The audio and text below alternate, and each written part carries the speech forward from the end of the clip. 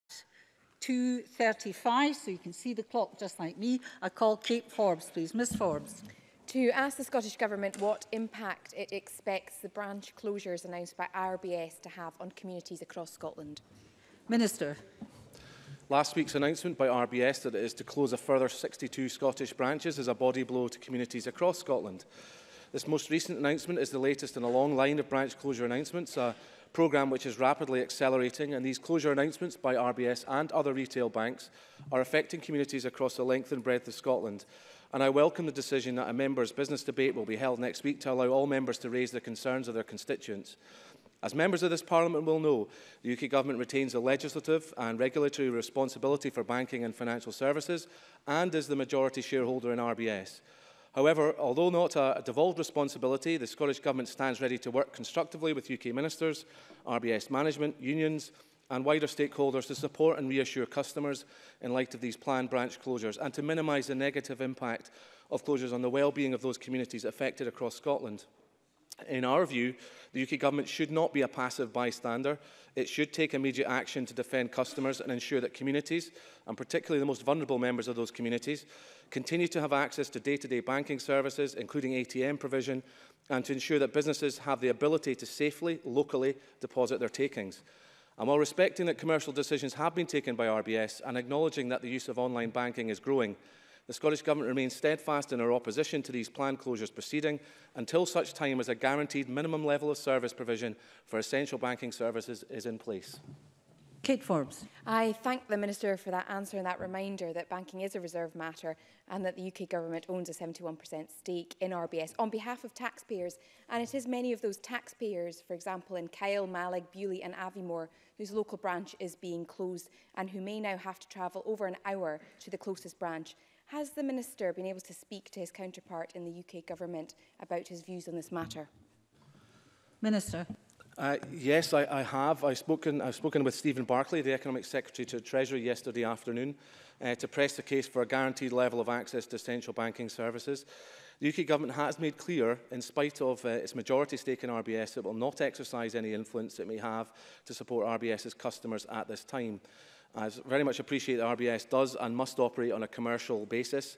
However, the UK government, as the government with responsibility for regulation for the financial sector, has a duty to ensure that the banking system meets the needs of all users, whether it be in areas like Aviemore or Bewley and other uh, vital local communities across Scotland. And we believe that um, uh, with, while respecting those commercial uh, relationships, obviously, that the banks have uh, with government, that they should work to ensure that robust alternative options are in place before allowing these branch, branch closures to take place.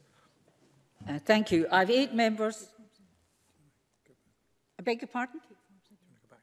Do, sorry. Um, yeah. Do you wish to return again? Can I just... Yeah. Yes.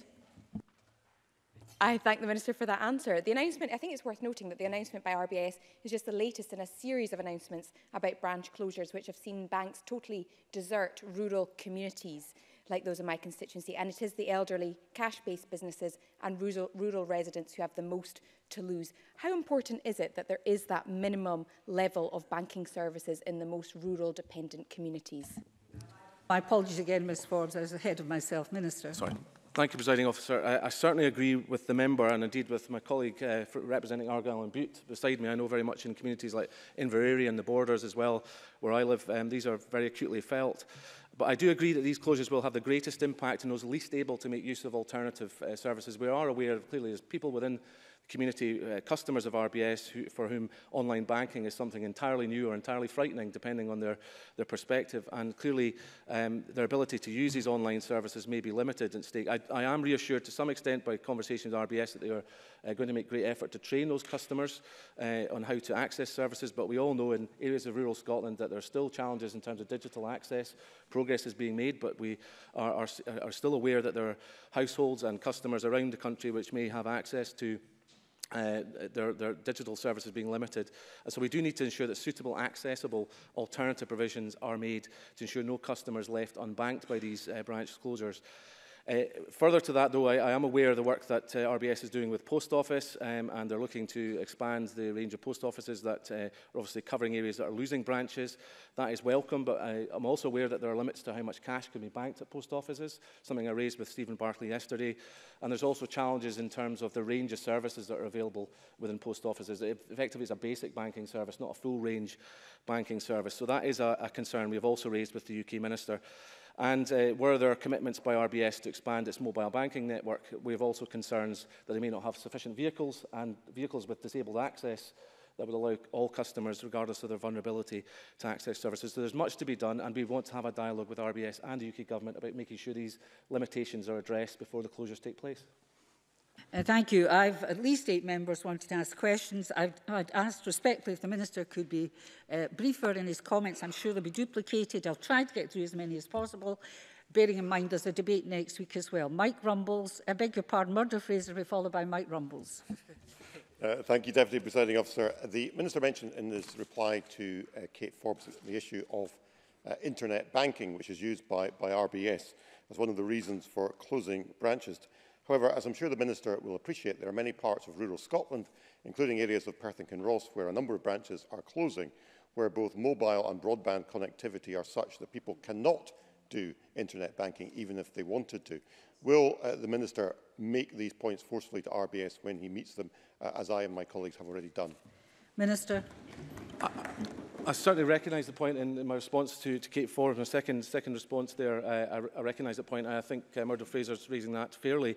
Um, clearly, progress is being made on ensuring digital access, but we are all aware the reality is on the ground. There will still be communities, whether it's in Perthshire or, or the Highlands or other parts of rural Scotland, and indeed some urban communities where either mobile banking is uh, via mobile phones or, or, or uh, broadband is still a challenge. And so that is something we very strongly encourage RBS to consider. Uh, and we have raised that issue already, but I, continue, I will continue to raise that point with RBS and hopefully we'll still make progress on that issue. Mike Rumbles, followed by John McAlpine. Um, would the Minister, uh, I, I've written to the Chief Executive of the Royal Bank of Scotland asking him to examine the possibility of working with other businesses, even his competitors, to establish shared premises from which to operate. Would the Minister agree that, and would he support such an initiative which would share costs and allow banks to remain in our local towns and villages across the northeast of Scotland, which is particularly hit by these proposed closures? Minister. I, I certainly would welcome that. Uh, I think Mike Rumbles makes a point which is similar to a point I've raised myself with RBS, and I think he's right to try and challenge these issues. Is it strictly necessary to close all branches if there could be collaboration in providing a central facility? As I understand it, there would need to be primary legislation change to allow that to happen. That would obviously be a matter for UK Parliament in terms of the regulatory powers and legal powers over banking and financial services resting at Westminster. But we certainly have made uh, comments and I would certainly welcome dialogue with RBS and I believe He is right to identify the need for banks to collaborate. They do traditionally uh, see themselves very much as competitors and don't talk about these issues, whether it's ATM provision or, or indeed branch, uh, branch provision. And I think there's an opportunity out of the very strong public concern that's been raised here in relation to these, uh, this latest tranche of closures and previous tranches for the banks to actually look to collaborate to try and address the issue. There is obviously a growth in online banking. We, we're not blind to that. We recognise that it's happening, but the pace of change is catching customers out, and I think that's the key challenge we all have to face. Joan McAlpine, followed by Neil Finlay. Thank you, Presiding Officer. These uh, proposed closures don't just affect small villages. I've calculated that there are 16 branches right across my South of Scotland region that will be affected, including uh, market towns like Lockerbie, Annan and Langham. Um, Last year, the Royal Bank of Scotland tried to improve its image with a brand campaign calling itself the Royal Bank for Scotland. Does the Minister agree with me that many people will feel very cynical and regard that as a breach of advertising standards at the very least? Minister. Um, well, I, unfortunately, I'm, I'm not the regulator of advertising, but I, I take uh, Joan McAlpine's point. Um, I mean, I certainly recognise in my own area, in, in the sort of eastern area of the borders, that uh, my nearest branch is now in England, which is an irony. Uh, so, and given the point that uh, Joan McAlpine has just made about branding, Um, it is a, is a concern. There's six of the eight branches left and the borders are being closed as part of this programme. So while a quarter of all Royal Bank's branches across Scotland are closing, six in one local authority area going in. And there are other local authorities like South Lanarkshire losing seven branches out of this latest programme. So clearly it's having a potentially quite devastating impact at a local level and that's why it's raised so much concern at this point. The previous closures that have been made, we've been given reassurances that the nearest branch should be in the local town, and therefore villages needn't suffer too badly. Now those branches are going as well. That's got serious consequences for vulnerable customers and small businesses who now got very lengthy travelling arrangements to, to, to, to travel in order to bank their cash. And in a tourism-driven economy in much of rural Scotland, that's a real challenge. Neil Finlay, followed by Donald Cameron. Uh, eh, RBS have bailed out of West Lothian, leaving only Bathgate and Livingston branches open. In each of the places where they've vacated, we now have um, uh, properties lying in the high street vacant. Many community groups want these properties to take, take them over for community use, but have been refused by RBS because of their greed, because they want their hands on the cash. Isn't it a disgrace that there is no legacy being left after years of loyalty from customers in these communities? Minister.